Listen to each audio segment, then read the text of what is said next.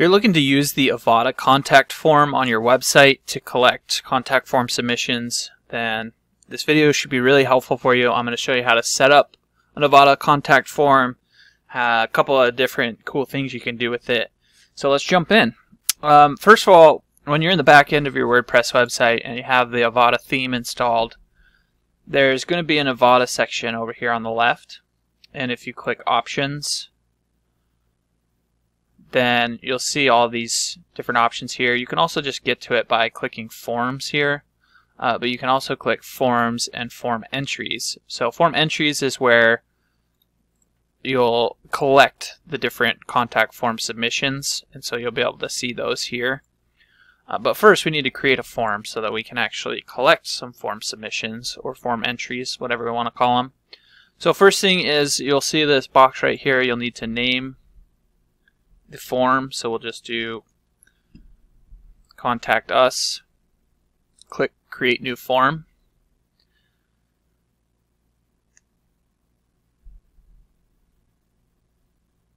And then you'll just come over to the Avada Builder here, click this new section, and you'll have all sorts of different form fields that you can add here. So let's say we want to add in, obviously we want to collect an email. So we'll call this email, or we'll just call it email. So there's a field label and a field name. It's actually going to auto-generate the field name. The field label is what the user will be able to see. And then the label is what comes through um, the back end when somebody submits. And then you can choose whether it's required or not. So for this one, we want the email to be required. We can set placeholder text. and even give it like an email icon if we want. And then we'll click save. So that's going to be the email field. And then from there, we can do maybe a text area, a text field. So we'll put name and we'll require that people submit their name as well. And then we can reorganize these so we can drag them and drop them around. So I like to do name and then email. And maybe we'll also add phone number as well.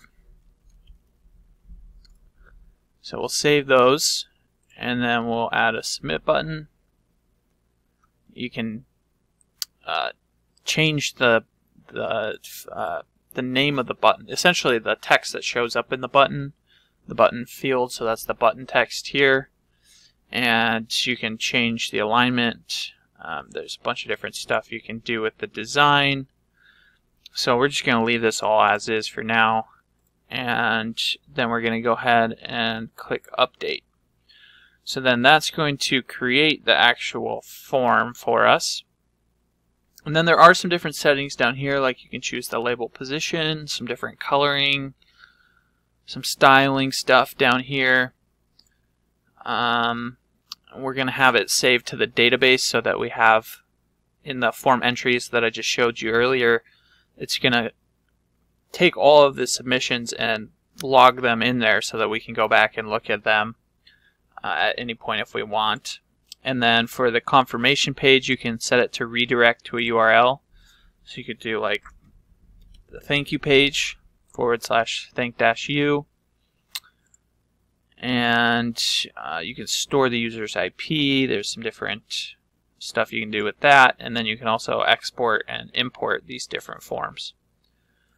So now that we have the contact us form set up, I'm actually using a different form builder. This is Formidable which I like to use as well, just kind of personal preference. So I'm going to edit this page. I'm going to show you what this new form looks like.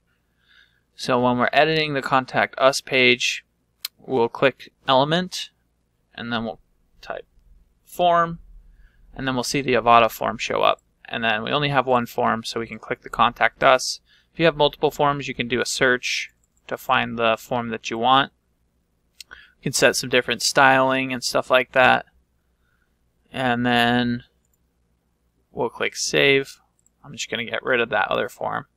And then we'll preview this so you can see what this new form actually looks like.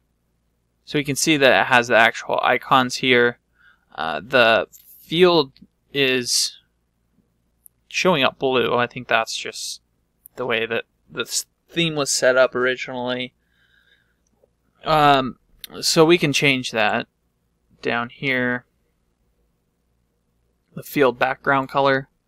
So for instance, we could set that to white. Click update. And then we can go back and preview this again. And we'll see that the background here has been changed to white. But now we can't see anything. So now we'll need to have the border. So we'll just set this to one pixel. And then we'll set the border color to like a light gray. And then we'll click update on that. And then we can come back and view this again. And it should look better now. Yep. So now it looks like a standard form. It's got the asterisks on the fields that are required. And so that's basically it. Uh, well, I guess we'll have to add a color when, when you hover over it. But again, you just go back, find um, find the settings here, change them so that the styling is the way you want, and then you make sure to save this page, click update, and then your form's going to be there when somebody fills it out. You'll be able to see the forms the form entries here. Under form entries, it'll log them all here. And that's the basics of setting up the contact, the Avada contact form. So if there's anything you have questions about, don't hesitate to reach out. You can just drop your questions in the comment section below. I'll be sure to get back to them there. And until next time, take care.